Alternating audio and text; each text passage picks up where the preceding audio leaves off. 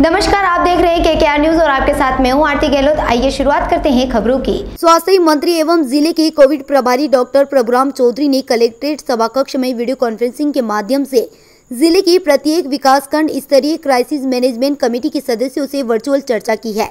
उन्होंने गोरखगंज बेगमगंज, सिलवानी, सांची, बरेली और गोहरगंज की क्राइसिस मैनेजमेंट कमेटी के सदस्यों से चर्चा करते हुए कोरोना संक्रमण को रोकने की जा रही गतिविधियों की जानकारी ली। इस दौरान पूर्व मंत्री सिलवानी विधायक श्री रामपाल सिंह और भोजपुर विधायक सुरेंद्र पटवा भी मौजूद रही है।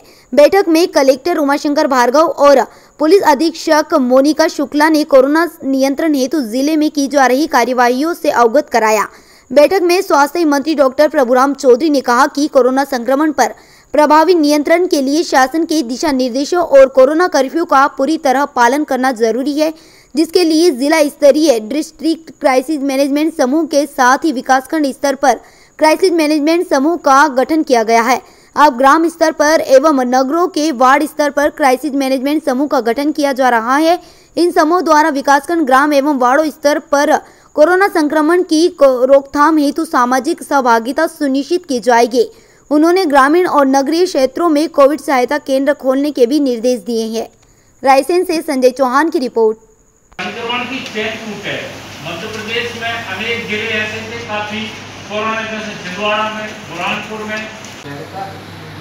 और एक्स्ट्रा तो इस प्रकार हमारे पास लगभग तीन सौ पच्चीस बेड है। इसी तरह से जो आज आठ बेड आईसीयू के हैं चौदह हमारे और तैयार है। पच्चीस जम्बो सिलेंडर लाइक गैस जाती है, सर। और दो मिल सर तो हमें डेली है, सर। उसको कनेक्टर होता है कनेक्ट करने की सर, क्या उसमें जो गैस आती है, वो लिक्विड आती है तो हमारे चैनल में बने रहने के लिए हमारे चैनल को लाइक शेयर और सब्सक्राइब करना ना भूलें।